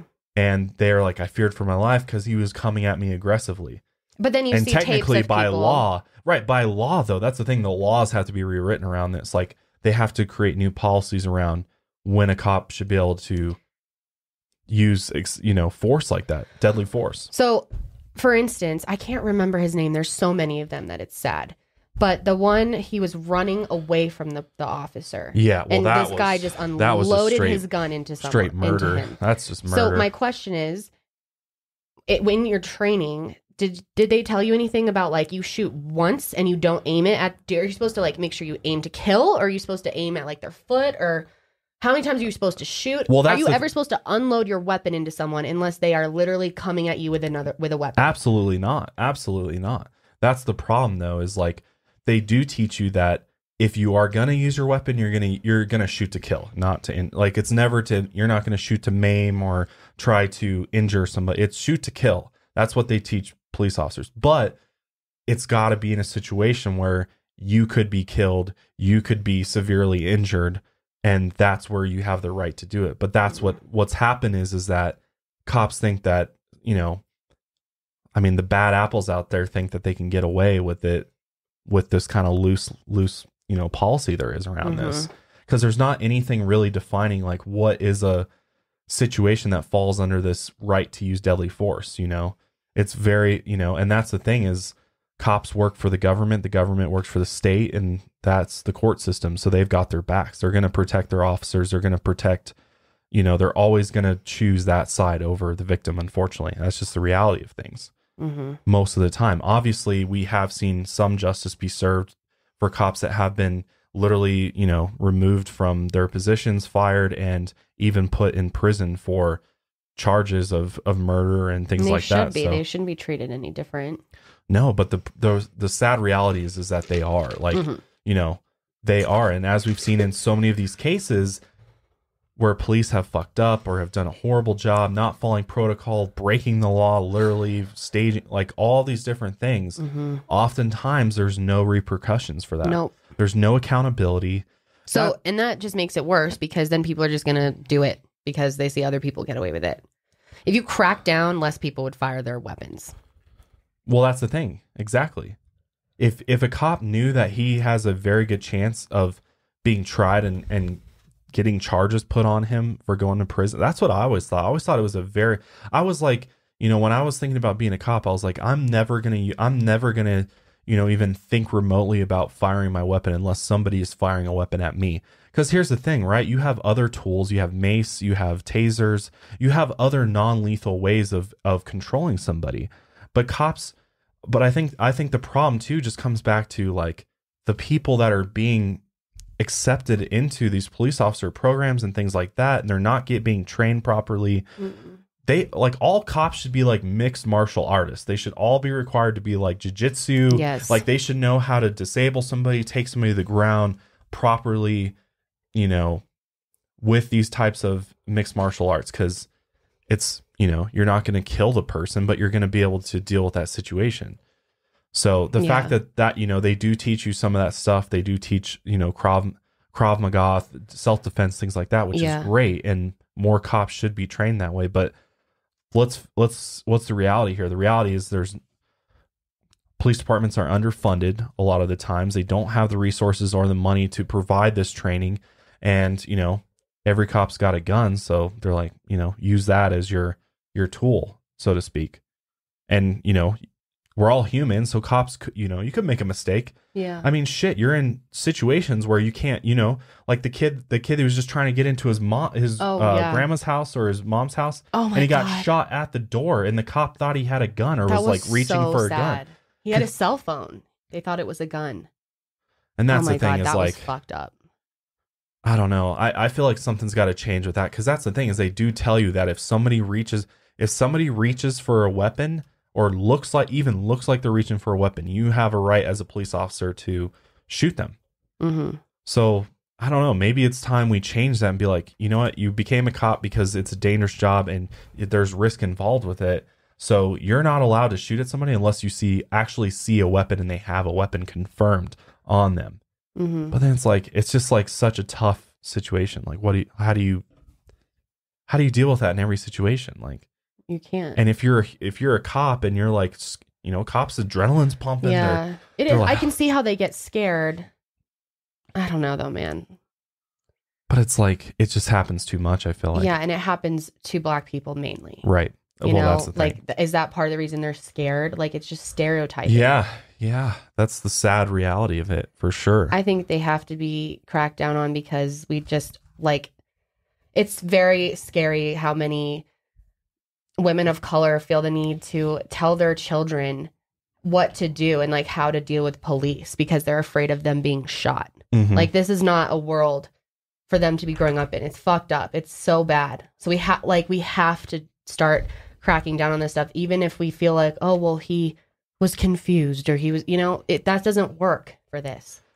Life. regardless, though, every single incident needs to be, you know, reviewed uh, reviewed by an outside independent investigation, and everything needs to be reviewed. All of the evidence needs to be reviewed, and and I feel like sometimes that doesn't happen, and you know, people get you know, police get away with very very questionable action, you know, actions and officer involved shootings and things like that. So I don't know. It's so complicated. That's the thing about this is like we're just like giving opinions and, and thoughts on this, but this can go a lot of different ways. There's a lot of reasons. There's a lot of things that, you know, we probably haven't even mentioned that go into all of this. It's just such a complicated system. And, you know, because there's so many unique situations, like this criminal justice system needs to reflect that just like a bicycle works best when it uses different gears based on the train that you're on, we need a justice system that has different responses for different situations, shifting gears to treatment, prevention, and long term public safety solutions as appropriate. Also, by taking a practical approach to criminal justice reform, we can decrease crime, enhance public safety, and make more responsible use of our resources. Because that's the thing is the system the way that it is right now is just like so like you know you do this equals this and in every situation it doesn't you know it doesn't always align with what you're being charged with they have to put charges on you but the charges may not even fit the crime they may not even know what to do with you so they put something on you that's completely unrelated to what you did it just seems like there's a lot of guessing a lot of guessing going on Yeah, there is. And that we can't guess when it comes to people's life. No. You know? Well, that's especially people's lives. We can't guess. We need to have a system that works for all types of situation, but also differs. Drug related offenses should have their own court system with their own, you know, their own type of punishment, treatment, hmm involved process. It shouldn't be the same as somebody that, you know, murders their family. It shouldn't be the same thing. So let's see. One uh, something else I want to talk. So let's talk about the rest of the world in comparison to the U.S. So other countries have vastly different criminal justice systems, obviously from the U.S. Following disease outbreaks and overcrowding in its prisons in the late 1990s, the Russian government took deliberate steps to lower its inmate population. Today, the country incarcerates roughly 681,000 inmates, about the same per capita as the state of New Jersey. According to the New York Times, Germany and the Netherlands incarcerate citizens at a rate roughly one tenth the rate of the US and sentence prisoners to jails that focus on rehabilitation and reentering society. And many Latin American countries from Brazil to Costa Rica to Mexico have banned life imprisonment altogether. They should. So we are like one of the only countries that still hands out life sentences on the regular. Like, and But they've eliminated it completely. yeah, like some of them have no life imprisonment whatsoever. See, though, that's like. Mm, But they have are not get rehabilitation. better. right, but ha- but they don't deserve that chance. Like, who are you to just say that they can't? Well, Based I think there's a upon lot of people out there who are psychopaths who aren't going to change and they know how to make it look like they have. And that's very frightening, especially people who've killed multiple people. Well, in these types They of don't have serial situations, killers there? Well, no, no, no, they do, but I'm saying like they have different. They're they don't just like release them back into the wild necessarily. They Release them into the wild. literally, but they like put them in a uh, you know put them in a psych facility. Like they have to they move from a prison cell to like a psychiatric facility where they're under watch, things like that. Okay. Okay. Well, then in that case, yeah, I guess. But I don't think they should be let out. Okay. Depending on what they did, though. There's some people that deserve to be in prison for the whole life. Okay. I think so. I think when you take a life from multiple people knowingly, you might deserve that. But I don't know. I mean, it's it's such a hard it's such a hard situation because it's like, how could that person ever possibly, you know, repay that debt that they did? But at the same time, it's like Well, you're you take you're someone's you're life. just you're a life for a life is your your stance is like No, not necessarily, depending on the situation. But if they killed multiple people eh, for fun or tortured them, But what? But when you look, at, but that's the thing, though, right? You look at these people that do these types of crimes. There's uh, there's always an underlying thing. It seems there's always an underlying condition, an experience, a traumatic event, a childhood, something that that Yeah. fucked them up. Yeah. Fred and Rose West, even their parents were off. Like, do you blame? Because like, here's the thing, right? All killers, serial killers included, were children once. They were all we were all just innocent children once. Nobody's born evil. Do you believe people are born evil and like wanting to murder people? Yeah. You do. Really? Out of the womb, they're fucking like, I'm Uh, gonna murder there are people. people. that are serial killers that their parents were completely normal, that they had perfectly good lives, went to college. So there might be there's some, just people. Some people are just psychopathic, dude, or they have this like evil. but those inside them. people have these conditions, these mental conditions. maybe. So there, I, you're right. I will be open minded and say maybe there is just like an evil gene that's just like you got this gene, you're just a fucking evil person, and there's no hope for you. Basically, there's no hope. So a good case to look at this. uh Dang, what's this? Hang on, I need to look this up for a second. Derrick Robie, who was his killer? Eric something. Derrick Robie. Because I I talked Eric Smith. Okay, this is an interesting case because I talked about this on my channel, and basically this kid committed this crime. He killed another four year old little boy at age thirteen, and it was really brutal. He like beat him with rocks. It was really bad. And now he's an adult, and he's every two years they give him another Parole hearing. probation hearing, per- pearl hearing, whatever. And he's trying to get out. And in my video, I said that I feel sympathy for him because he was abused. He went through a ton of shit, and he was 13 when he did this. Yeah, He's changed a lot since then. He's very remorseful. He feels, you know. And I, I said, I started questioning my audience. Do you think someone like this should be able to get out? Like he was 13. Should his whole life be in prison? And I kind of lean towards he should be able to get out, especially if they're able to prove that. So I don't know. It's kind of hard. And a lot of people got really mad at me for saying that. It's like one of my videos that there's a lot of controversy on because I said, I mean, it's hard. I have more passion for, I have more compassion for kids who made mistakes. I definitely don't think if you're a child when you commit a crime, he was 13 and was tried as an adult. For what reason? He's a yeah. kid. That's not that's not fair at all. Sentenced to life in prison at 13. I mean, I just, that's at where I have a problem. So, in the case of kids committing crimes, which there's plenty, kids that killed their parents, all types of weird stuff. But that's the thing, though, right? Is I get like emotions are heavily involved with this, and I get that I could never possibly know that feeling of loss and just utter destruction, you know, of having somebody do something horrific to me or my loved ones that I couldn't possibly understand how it feels. And I, I'm not gonna, I'm not gonna, you know, fight that at all because I don't know. I don't know. I might feel differently. I might feel like they should die or, you know, be Right. locked up in prison forever I think if that that's the happened hard to me. thing. That's the hard thing is yeah. it's emotional. It's so emotional and you know, you're so tied in with that that Right. it's hard to look at it rationally and logically because here's the thing is like everybody's getting tried under the same system. So this might be beneficial for you personally because you had something done against you. But then again, somebody else who's completely innocent possibly is getting completely fucked on the other side of things. Like that's the problem with this is the blanket system as it exists now is just Yeah. It It, doesn't doesn't, work, work. for It everybody. doesn't That's work for the problem. everybody. It works It's not sometimes, fair. not always. it's not Yeah.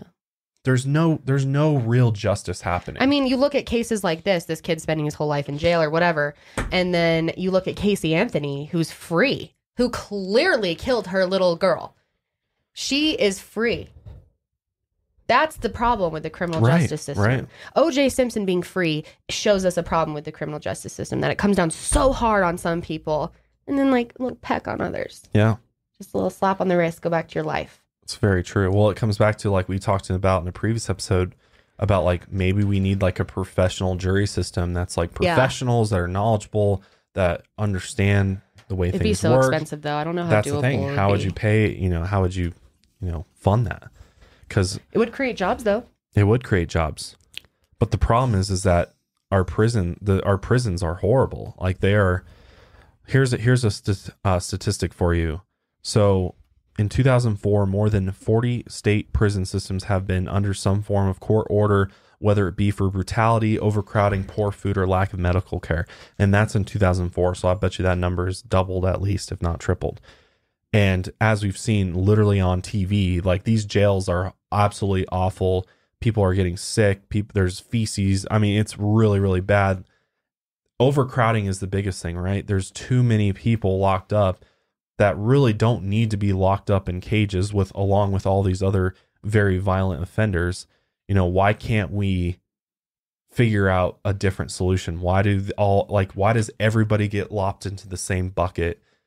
You know, why isn't there any why isn't there any differences between crimes? Like why is everybody Yeah. punished the same? The like same. that's stupid. That doesn't make any sense. No. That's so antiquated and dumb. Like there should be different court systems for different things. It it needs to be redone because this is this is kind of mind-boggling, especially if you've never even known about this. But Norway, nor in Norway, less than four thousand of the country's five million people were behind bars as of August 2014. And when criminals leave prison, they actually stay out. The country has the lowest recidivism rates in the world at 20%. The majority of crimes reported to police in Norway are theft related, with violent crimes typically linked to drug trafficking and gang problems. To, re- to reiterate, in the US, 76.6% of prisoners are rearrested within five years. So that's our rate. Almost 80% of people are rearrested within five years after leaving prison because the prison system eats you up and then spits you back out, and then you just come right back because you don't know what the hell to do. Norway takes advantage of a concept called restorative justice, which aims to repair the harm caused by crime rather than punish people, something the U.S. should consider. Don't you think? yes. especially for nonviolent offenders. Because as you're seeing, if you're watching this on YouTube, prison cells in Norway are pretty humane and and not bad. Like some like it's not great. It's still like a small room, but at least you have like your own room and you have like a bathroom and a decent place to to be where was you're not gonna Norway that we saw on that one documentary? You know what I'm talking about? I believe it was Norway. It was either I thought it was Norway. It was might have been Sweden.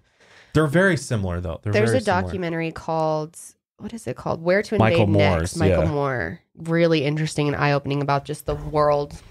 Uh, and they toured a prison. I think it was Sweden. It, might- it could have been Norway, but they literally had full access to kitchens with knives. These were like killers that they were rehabbing. It kind of looks like a college dorm. room. does. Like it's, It it, doesn't look does. bad.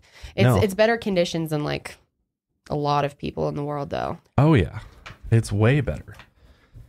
I mean, we'll talk about the the flip side to it, but I wa- I wanted to read this uh, for you. This is from a uh, reporter uh, with the Huffington Post who went to the prison in Norway, and she found herself interacting with two deckhands on the ferry to Bastoy Island.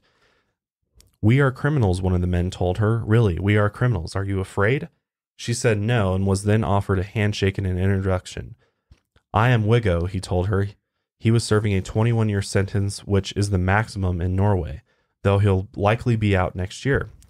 We work the 6 to noon shift, Cato, the other deckhand and prisoner said.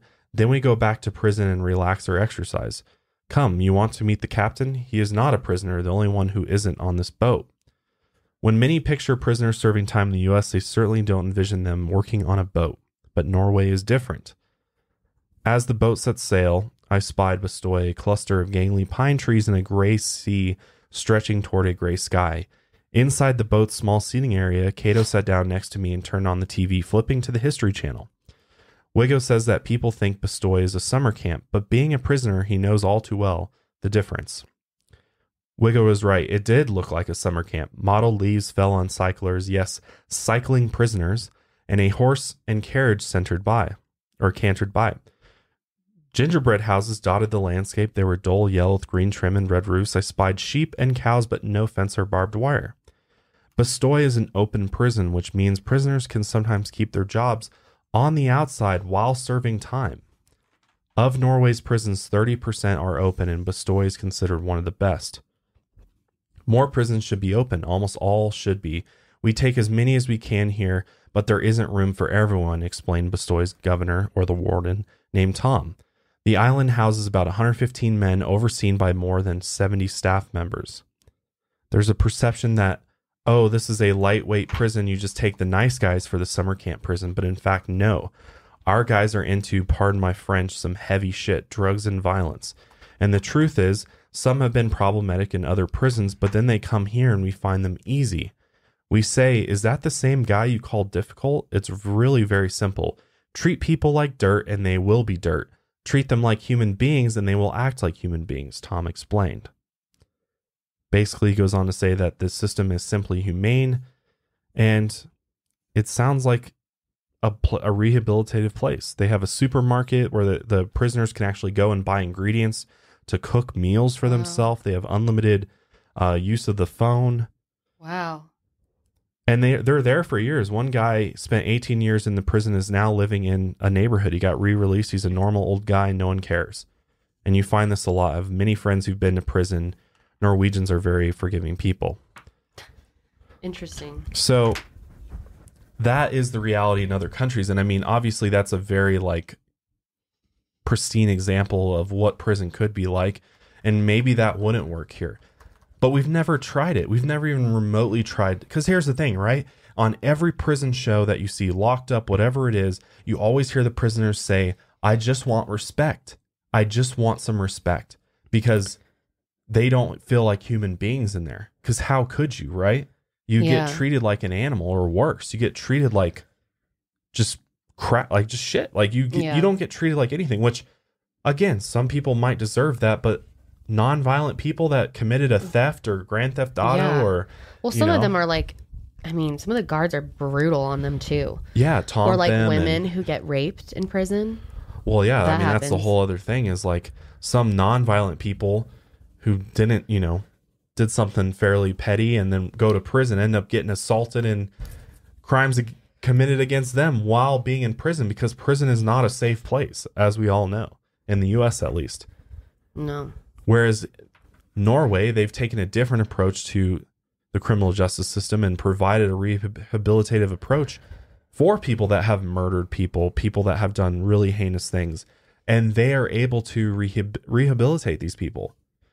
So, could that ever happen here? Absolutely. Absolutely. But it would take a lot. Not as long as the prison industrial complex exists. Yeah. And this shit's gonna this shit will blow your minds. I just want to go through this because this this is what it's all about. So prison is a big business and working prisoners are a corporation's dream. Prisoners are con- being contracted for work right now on a massive scale, and despite the alarming and unsustainable growth of inmate numbers in the United States, incentive to lock up people is only increasing. Prison labor based in private prisons, which, yes, people, there are private prisons which are for profit, is a multi million dollar industry with its own trade expedi- exhibitions, conventions, websites, and mail order internet catalogs. If you didn't know that, you can literally order product from a prison. The industry also has direct advertising campaigns, architecture companies, construction companies, investment houses on Wall Street, plumbing supply companies, food supply, armed security, and many more. Furthermore, private prisoners at the state level produce a variety of goods and services from clothing to toys to telemarketing and customer service. The private federal prison industry also produces nearly all military goods, from uniform helmets to ammunition, along with durable goods ranging from paint to office furniture. So the corporate stockholders profit from ex- this exploitation of of prisoners, which I'm not against. I'm not against like prisoners working. I think Yeah. giving them a job to do and giving them something to work on is is absolutely a good thing. But Yeah. I don't think I think the exploitation of of prisoners so that corporate entities and and rich people can get richer Yes. is there's something wrong with that. right. So let's I wanted to talk about this because I think you'll find this very eye-opening. There's actually a surprising number of well-known corporations who are making a killing off of the prison industrial complex. Here are just a few you might have heard of. Number 1, Whole Foods. The state allows inmates to work for the profit of a private corporation and Whole Foods is one of the many companies that takes advantage buying fish and cheese That's produced by prison inmates and paying them a rate of 74 cents a day. Which again, like Wow. whether or not you want to pay them minimum wage, but to pay them literally like cents is just pure wrong. It's like slavery. like what if these guys are really working hard? They're nonviolent offenders and they're trying to like save up some money so they have a little bit of money when they get out that they can like survive and actually make it. But instead kinda scary they're too. getting fucked over. If they were being paid well, they'd probably do a better job too. Yeah. Yeah. And this is where we're buying our food from. Yeah. Ew. And then what they do with this cheap labor, Whole Foods then increases the price of the product astronomically. Til- tilapia raised by inmates, for example, sells for eleven ninety nine a pound at Whole Foods, Wow. and they Wow. basically they just reap all the profits Yeah, and they're paid 74 cents a day. a day. Oh my gosh. I don't even think that can get wild. them ramen noodles in prison. For a whole day's work, they can't even get a cup of cup of noodles That's insanity. because they only made 74 cents. McDonald's, which it's no secret that McDonald's is suffering right now in a world where people are steadily waking up and moving towards a healthier lifestyle. There is no place for such heavily processed and unethical food. Yet, despite being the world's most successful fast food chain, they still source many of their goods from prisons, including con- their containers, uniforms, and cutlery. The inmates who sew the uniforms hardly make anything. Wow. So these corporations are literally just like Just using free it. free labor. Well, a lot of these corporations tie back to those families, and Yep. it's pretty obvious that they set this up to So- be like this. It's absolute like it absolutely It's literally modern slavery. Literally. Walmart, I mean, That's who's wild. surprised by that? Purchase products from prison farms where they uh where they have to work in difficult conditions without sunscreen, water, food and basically working for free. Victoria's Secret. Oh, those Undergarments fucks. and casual wear are sewn by female inmates for Victoria's Secret. In fact, in the late 1990s, two prisoners were placed in solitary confinement for telling journalists they were hired to replace made in Honduras garment tags with made in USA tags. Oh wow, That's Crazy. crazy. And they were placed in solitary confinement. Yeah. That's fucked up. Wow. So that's Victoria's Secret. British Petroleum, AT&T, and Aramark, which is a company that provides food to hospitals, schools, and colleges. They have a monopoly on food served in approximately 600 prisons. They have a history of poor food service, a problem which led to a prison riot in Kentucky in 2009. So these are just some of the corporations that benefit hugely off of inmate labor and exploitation of of basically modern human slavery it seems like i mean if you're gonna do that like that's the thing like even in they they talk about a lot of this in orange is the new black a lot of these like issues with prison and stuff like working and not getting paid like they won't the prison won't even provide them with jobs. So they have no way to make money they have no way to get money like nobody's giving them money on the outside so they can't get commissary. Because that's like how you get a lot of your essential goods. Like remember in like we just saw in orange is the new black like the women couldn't even get like maxi pads or like tampons or you know essential items that females need. Like Yeah. they couldn't even get that, which that's like a reality too. That's like obviously based off some a real life situation. Yeah. Like that's just fucked up. It's like you're so not even gonna up. provide basic necessities that you know That's Female so like humans need. dehumanizing and sick. it is. So to sort of Definitely of makes you feel it does know, it makes you feel a little hopeless because it's like what do we do? What do we do? Well, How yeah, I was just saying it makes you like appreciate your life and freedom. It does. And it makes you never want to commit a crime, that's No. for sure. Mm. Cuz, you know, once the system is not fair, it's not just you're you know, you're not guaranteed anything. As soon as you're arrested, you're not you know, you're you're not guaranteed anything. And the best legal advice is shut your mouth and get your get a lawyer. Get a lawyer involved if you're ever involved. Cuz, you know, some people are just like what about people that are literally just in the wrong place at the wrong time? Right. Like Stanley Yelnats Stanley yelnats from Holes, you know? Like yeah. you got fucked, dude. You got, hit totally with fucked. those shoes, but he was in the right place at the right time because it was all supposed to happen that way. It's true. Madame In the end, it did, but Taking it's just Hector. Zeroni up the hill. we actually Take just watched that movie. That's why I like remember it so well. That's a great movie. I just well, I, I watched the it. whole thing like really recently. I love that movie. Mm, but it's a. I Shia mean, it's an example of. my dad always would say Shia LaBeouf. Shia LaBeouf. But if you like, we're we're all humans. We're not prone to make. You know, we're not prone to not making mistakes. So like, what if you make a mistake, or you're just driving, you accidentally like hit somebody, you kill them. Like, what happens? Like, you're not a bad person. You're not like a criminal at heart. It was just a shitty Right. thing that happened to you. A good example of this is I actually like just know of someone from my community. Didn't ever meet them personally, but they got in a drunk driving accident and killed two women, two older women. Like they were selling Mary Kay or something, and he hit them. And I don't even know what his sentence ended up being, but like he felt so bad. But he was drinking in like the middle of the day yeah. and it's two women's life.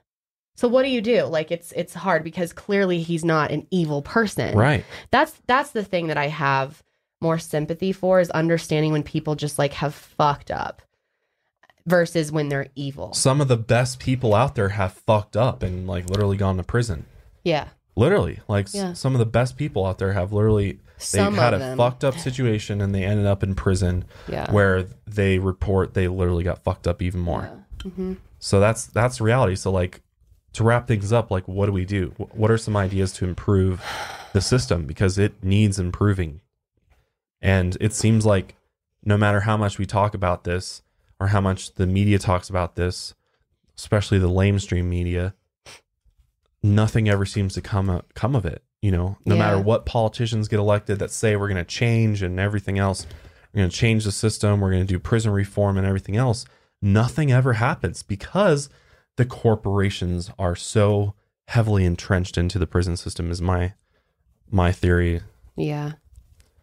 but here's some ideas. For one, when talking about the police, return to community policing. I think this is basic. I can't Mm-hmm. That's believe this doesn't thing. happen yet. Well, some people are doing it. That's Yeah, the thing. there like are. there's some There great officers. Officer Daniels. Oh, oh my gosh, I always forget the name of this one police officer I follow on Instagram. That's just such. He's so involved with his community. He's a great example yeah, of community there's a policing. lot. There's actually a lot.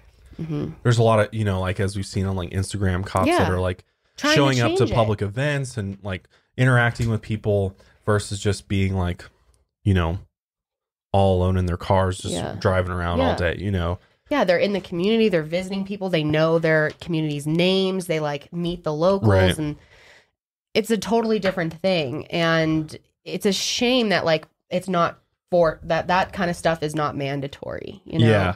Like you should I think you should be I think you should live in the community in which you police. Yes, agreed. If you're a police Agreed. officer, you should live in the community that you police. yeah. Because A, that'll help you do your job far better. Because that's the completely thing. Like most cops do not work where they live. And their the reasoning for that is because of the safety issue with it, which I kind of do understand because it's like, you know, you don't want some bad dude showing up at your house. Because that's the thing is people Yeah, are like crazy true. these days. That's so like there have been cops that have been murdered at their house by gang members and things like especially if you like patrol in like a really gang infested area like it can be very dangerous but at the same time it's like i think that if you were to look at the statistics at how often that happens versus how much good it would do it would be um are you talking about the one that's on live pd no, oh I'm trying to find this guy that I follow. That's just Stick, so great. Sticks, I think is his He- name. oh, his name is Tommy Norman.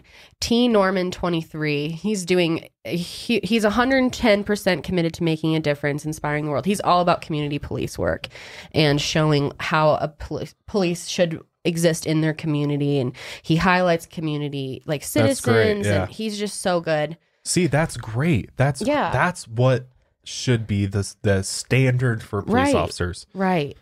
And that's why people can't bunch them all into a group and say things like fuck the police because Yeah. it's offensive. Yeah. And I see how that bothers people and I see why people are angry at police. There's obviously so much that needs to be done, but like there's people like him out there that are really, really going to change the system. If anyone's going to change it, it's going to be people on the inside. So I think it's so cool. I think it's really cool. His department allows him to kind of be this. Well, it's great to see that we are seeing the culture with these police departments change a bit and letting them be more open. Like they've been doing like lip sync challenges, just little things to kind of make themselves more visible, make them humanize, you know, Yeah. humanize themselves. Because that's the thing is that yes. they need like cops just need to humanize themselves to the rest of us. Because a lot of us just like, I mean, how many of you out there literally like if you see a cop behind you while Get you're scared. driving, Yeah. kind of get like a little nervous or your heart drops in your stomach. You're like, oh, even though you are doing nothing wrong, Yeah. everybody gets that like feeling of like, oh shit, You I'm in trouble. You should see a police officer and think to yourself, "I'm safe." Not, "I'm Right. scared." I'm worried. I don't want to. I don't want to yeah. run into this guy. It's like Yeah. it's like you have like a killer behind you or something. We all act like we're all or some of them that just stand there like with their arms crossed and like glaring, just and mean mugging everybody. Like you're stuff, here yeah. to protect me. Why Right. are you acting like you're like in- against us. Yeah, Yeah, like we're in the military and you're our right. leader. Well, that's It's the like, thing too. Is like there is a lot of like militarization of the police and the police departments, and you know they say because of these new risks and you know all these different things that have come about in this modern era, but. I think that we we need to go the other way, the this way of community policing and being visible, humanizing Mhm. themselves. That's why there's an organization called Humanizing the Badge, which Officer Daniels is involved with. Yes, Who's actually uh Daniels. if you've ever heard of Yeah. Officer Daniels, That's he's another one. it's kind of crazy. He is actually a used to be a security guard at my high school And Josh was like friends and with a him. good buddy of mine actually we i went on a ride along with him before he's just a Mhm. really great guy he's he's uh he had a vine he was a vine star and did a bunch of like really funny police You've vines. probably seen you've his probably seen ones, his yeah. vines so i'll i'll link his stuff But he's him. also a great example of uh, community stuff, and yeah his nonprofit is humanizing the badge his is Officer Daniels underscore one. He has almost five hundred thousand followers. So cool that's stuff. that's great, and I hope more police follow after that. And I think if we kind of rebuild this police culture and humanize them, and you know, because that's the thing, right? They're just a human being like you or I. There's nothing different about them from a like human perspective. They're not, Yeah, you know, they're not. They're. It's not like they're never going to make a mistake either. Like we have to be understanding of when they do mess up, but at But the same a- time, it's like people shouldn't be like dying at the hands of police as yeah. much as they do. and they shouldn't be just like getting to go back to work. We can Yeah, forgive right, people, right. but you're done. Yeah, Like that's it. yeah, I I agree. know. Seems like one of the biggest things that could be done is people within the system trying to make changes going outward. Yep, exactly. I mean, there's a lot of different things. We could stop the use of solitary confinement in prisons, particularly for juveniles and detention facilities, because solitary confinement just it messes with your messes with your you head. up, yeah. It really fucks you up long term, and that's that's like a psychological, proven, you know, issue. hmm obviously there needs to be way more prison accountability and leadership to reduce violence in prison because there's tons of people that get assaulted and, and even killed in prison when it should be a safe place it should be It's not. but you know support for alternatives to arrest and incarceration programs. There should be more mental health centers drug treatment options. You know i, th- I think the biggest thing is like the, once the war on drugs officially gets ended and you know things like marijuana and different types of very you know non dangerous substances that have shown you know people can't get addicted to things like that are made legal across the nation. It's legal in canada. It's going to be legal across the US pretty soon, I think we're going to see, you know, inmate population go down, hopefully, unless they just find something else to, you know, feed this prison industrial complex. That's the thing. It's just such a such Business. a complex thing. But I think sen- I think this whole minimum sentence thing for the you know for every crime, kind of like a one one size fits all thing when it comes to sentencing is ridiculous. Yeah. You know, just because you you know there shouldn't be like a mandatory minimum sentence of like twenty years for selling selling drugs or something like that's craziness. Yeah, Like, that is. Especially marijuana. especially Like, marijuana exactly ending the death penalty because it costs millions uh, millions to do to even keep people to do that plus other countries have were here's an interesting fact europe and most of, them, of the americas have abolished it leaving the united states in the company of china north korea and pakistan on the list of countries who retain the punishment so that's pretty interesting china north korea and pakistan and us are the only ones that still have a death penalty Wow, everyone else has kind of like moved on. yeah or But it's kind of wild thinking about how it used to be, though. Like, Well, yeah. straight up just no trial execution. Well, we were talking streets. about like the Wild West days. Like if yeah. you robbed somebody and like murdered somebody, you would be like hung in the town square like the Yep. next day. Mm-hmm. But here's the thing: Off does with that your head. actually deter crime at the end of the day? Did it was like? well, I think back then, like people were like, "Fuck, I don't want that to happen to me. I'm gonna lay low." And but I my think little people. I life. don't think it deterred. That's the thing about it is does it deter people? Does the idea of being like executed? maybe or, there weren't as many executions back then. Maybe there was less crime. There probably was. but there's also less people Right. compared to now. but like we people don't- were in desperate times back then too. There wasn't like I don't know. people are in desperate times now. It's That's true. worse. That's true. It's actually worse now. I just feel like that would be really scary. Like as a criminal, I'd be like, eh, I'm not. I'm, I'm good. You know, like seeing someone get hung or burned, Yeah. Well, yeah, you would think, but some people just like doesn't phase them. Death doesn't phase them at all. or like That's the witch a- trials. How That's they were like a just nice burned. punishment. Remember the Yeah. you know Salem Burned trials? No stake. trial. Well, Yeah. I guess they did have a trial. Duh, the Salem witch trials, but like a completely ridiculous, unfair trial based on bullshit. I mean this this shit goes back so long. Ever since humanity's been around, we've been Dealing with these Yeah. issues. hmm the question of what should the punishment be? Where do we cross the line? hmm It's interesting stuff.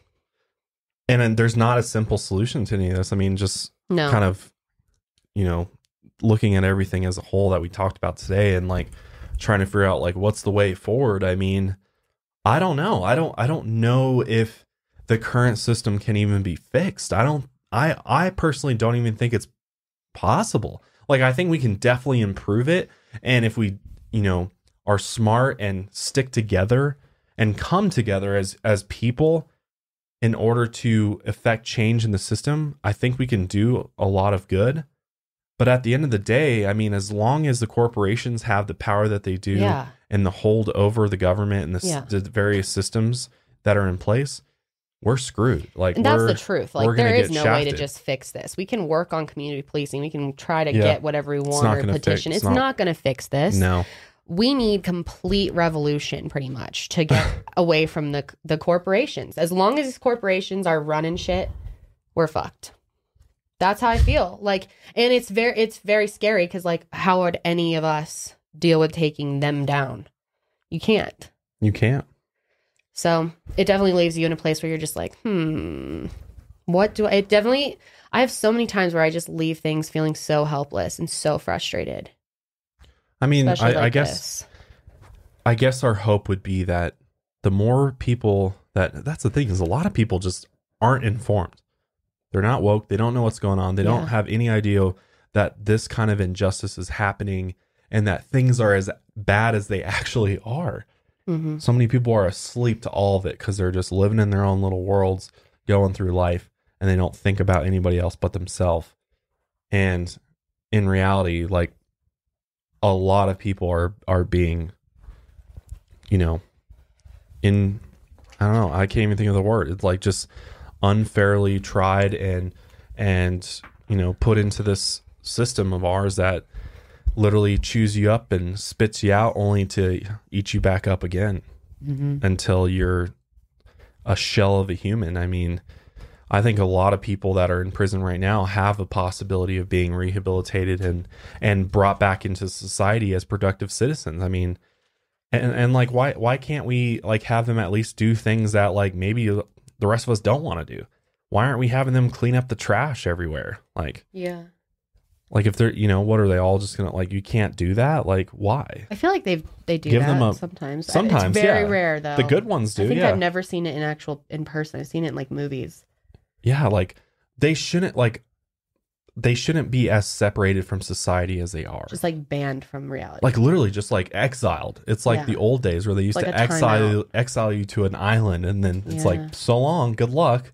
oh wow, yeah. That used to happen like Yeah. and and so people I think people lose their humanity and lose who they are as a human being cuz they're literally being treated like scum and and you know uh, some people are scum but it's like I think everybody's got a chance to redeem themselves especially Yeah. if you have done something that hasn't harmed another human being. Mhm. I think you especially have a, a shot to come back and who knows, do something great, you know? So I don't know. We want to know what you guys think about all yeah. this, though. I definitely mean, want to know your guys' thoughts. So very this. interesting because there's just so much. I mean, we couldn't even like cover everything. And I'd love this, to but- hear if you personally have someone in prison or you've been to prison. You know, no judgment here. We'd love to hear your story, your experiences, and just your ideas on things, your thoughts. What can we do to change things? Yeah, Um, absolutely. yeah. yeah, I mean, maybe maybe uh, you know one day we can have somebody on that's actually been been there, done that, and Yeah. can really give us a firsthand account of what Mhm. it's really What like. what they went through. Was it rehabilitating or was it just debilitate or whatever that word is? So, yeah, I don't know, guys. We definitely want to know what you guys think. If you enjoyed this podcast and you're watching it, please give it a huge thumbs up. Subscribe on iTunes and YouTube for future episodes from the Mile Higher podcast. We've got so much good stuff coming. So much good stuff is coming down the road. So, definitely want to stick around for that. But yeah, that is it for us today. And thank you for joining us for episode 31 Yes. of the Mile Higher Podcast. We will catch you guys next time.